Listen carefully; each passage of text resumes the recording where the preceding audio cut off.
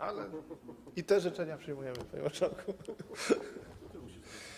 Panie marszałku, Wysoka Izbo, oczywiście ucywilizowanie zasad egzekucji komorniczej jest potrzebne, ale trzeba przy tej okazji też powiedzieć, dlaczego dzisiaj widmo komornika zagląda na polską wieś. Dlaczego tak wielu rolników dzisiaj jest zaniepokojonych, tak wielu rolników jest dzisiaj w sytuacji obaw o przyszłość, o przyszłość swojej gospodarki, o przyszłość swojego majątku, o przyszłość pracy, która daje nie tylko im i ich rodzinom utrzymanie, ale również przede wszystkim daje bezpieczeństwo żywnościowe naszego kraju. Szanowni Państwo, o tym dzisiaj powinien debatować Sejm.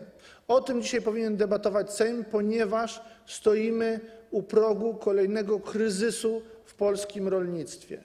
Stoimy u progu kolejnego kryzysu, który oczywiście ma swój związek z tym, co się dzieje z nawozami.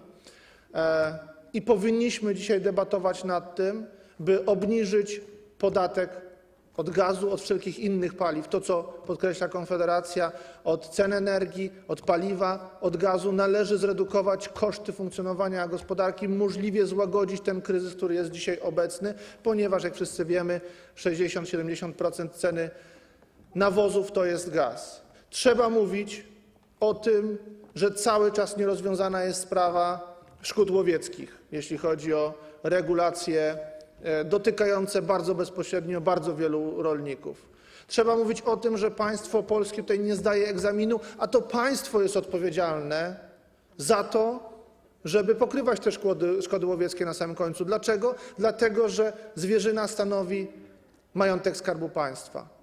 Te wszystkie rzeczy, ten kryzys na wsi, który jest widoczny, który jest widoczny w wielu aspektach, który jest widoczny również dlatego, że zmienił się minister rolnictwa, żeby właśnie załagadzać ten kryzys na wsi. To jest odpowiedź polityczna PiSu na to, co się dzieje, na ten bunt, który wieś podniosła i bardzo słusznie, że rolnicy podnieśli przeciwko mm, antyrolniczym zakusom jak piątka Kaczyńskiego. Ale szanowni państwo, to jest wszystko mało. Dzisiaj Sejm powinien nad tymi kwestiami debatować.